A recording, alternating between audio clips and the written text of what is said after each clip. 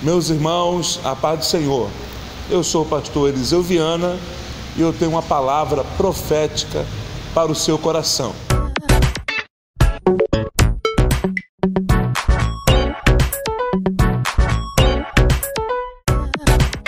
E o texto que eu quero compartilhar com vocês está no Evangelho de Jesus Cristo, segundo escreveu Mateus, capítulo de número 26, versículo de número 36 em diante.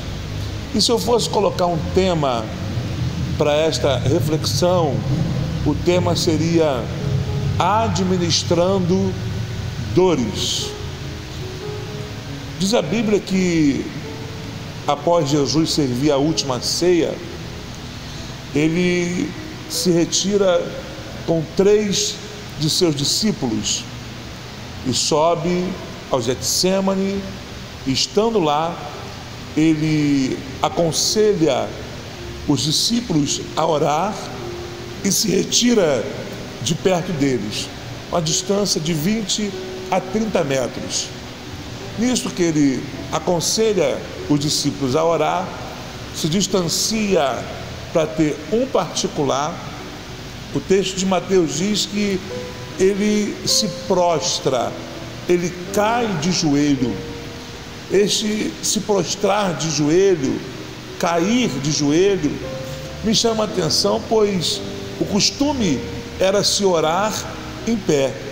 Mas a agonia que Jesus estava sentindo era tão grande que fez ele se prostrar, fez ele cair de joelhos. E quando isso acontece, ele começa a orar.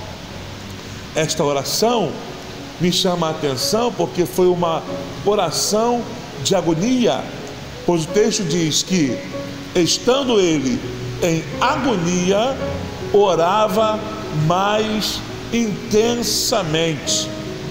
Você vê que esse orar mais, orava mais intensamente por causa da dor que ele estava sentindo.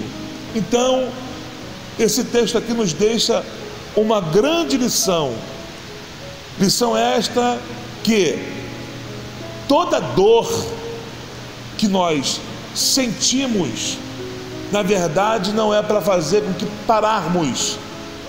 A dor que estamos sentindo, na verdade, é para que nós possamos orar mais intensamente.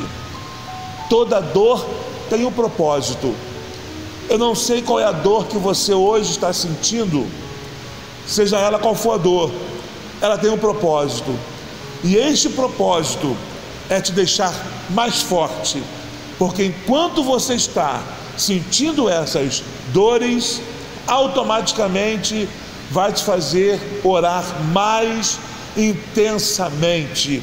E quando ele orava mais intensamente, mais força ele recebia para encarar o que estava por vir. Então, meu irmão e minha irmã, receba essa palavra ao seu coração. Essa dor não é para te matar, essa dor não é para te parar, essa dor é para te fazer mais forte. Amém? Deus te abençoe em nome de Jesus.